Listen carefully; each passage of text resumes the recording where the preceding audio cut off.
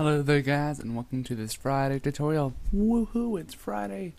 It's currently 9.44 p.m. on Thursday, so I'm going to try to finish this up pretty quick. Um, but today I'm going to show you guys how to create the annoying orange effect um, with the eyes and the mouth and how to blend that and uh, make it look like it's an orange or a grapefruit or whatever. So uh, yeah, let's get started.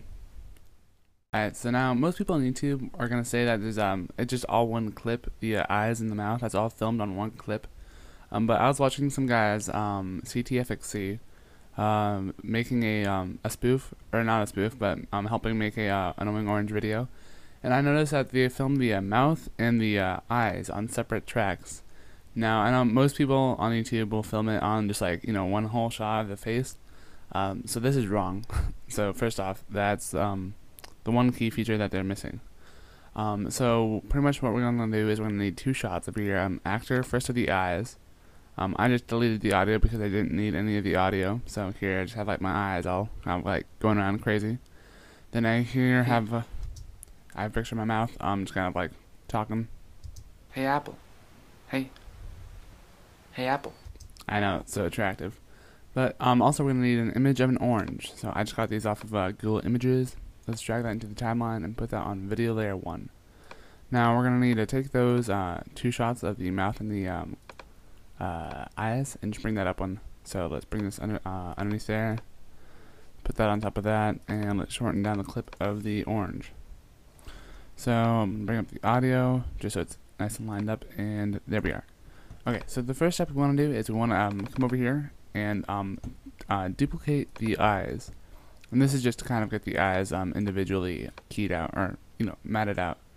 So we're going to come over here to the top layer, and go to Effects, Video Filters, Matte, and then we're going to come over to um, Mask Shape. Now, we're going to come over to um, the Filters tab, and under the shape, let's change this to an oval. Then we can um, bring down the um, circle. There it is. Kind of see it right there. I apologize for the uh, garage door opening in the background, so yeah. So let's close this on down, so it's just pretty much like the shape of the eye.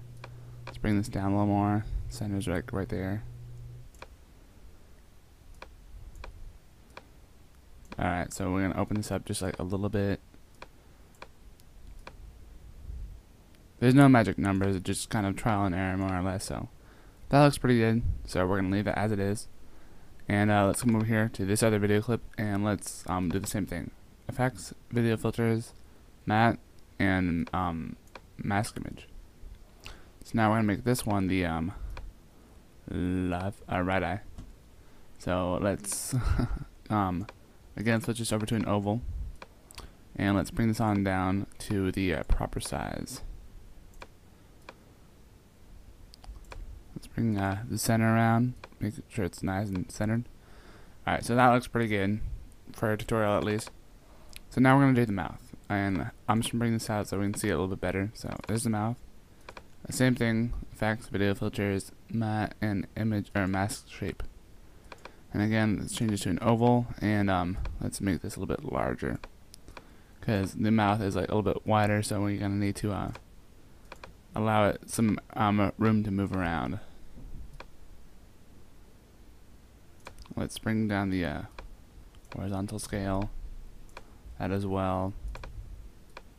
Bring this up. Let's see how that looks. That looks okay. So we're gonna use this, and let's also come um, still select on the, on the mouth. Let's come up here to effects, video filters, and um, matte, and then matte um, feather, mask feather. Here we go. Then let's just bring up the feather a bunch just to make it blend nicely. So if we were to put this on top of the uh, image of the orange, you can kind of see how it's going to turn out. So let's bring this down to size a little bit. And put this right on top of the orange. Um, yeah. So now what we're going to need to do is we're going to need to come up here to Effects, Video Filters, Image Control, and then Tint. Now this is where we're going to change it to uh, kind of orange glow. Uh, it's very important to have good lighting as well, because if, if you have poor lighting conditions, it's going to just look terrible. So here under the tint color, let's select this eyedropper tool, and just kind of select somewhere around the uh, orange. Um, so there's that. Let's uh, bring up the feather some more. Just kind of make it all blend nicely. So that's okay. Um, let's say we need to bring down the, uh, the brightness. We can bring, we can just kind of like do some trial and error, see what looks good. Um, it's best to kind of ah, that was loud.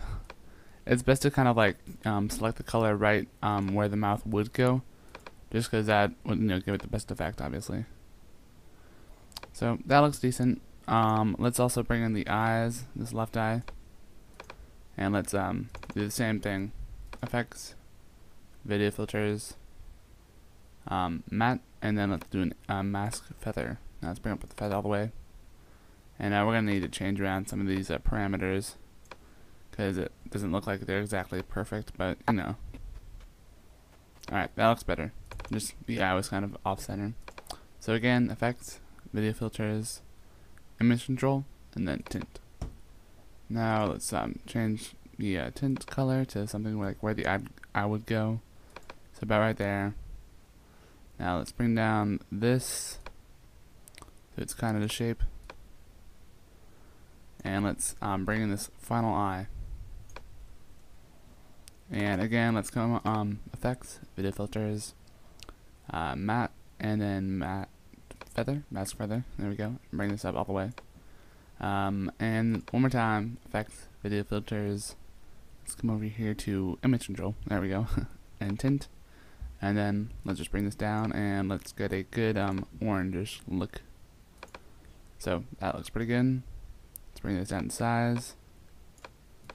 And let's line that up nicely. Now, if you guys are using like a different um, fruit or vegetable or something, um, you just gotta go over to, um, you know, pretty much the same thing, same process. There isn't any difference. Um, that eye looks a little bit bad, so how about let's select a uh, more decent color. We can also use this tool here, so if we wanted to.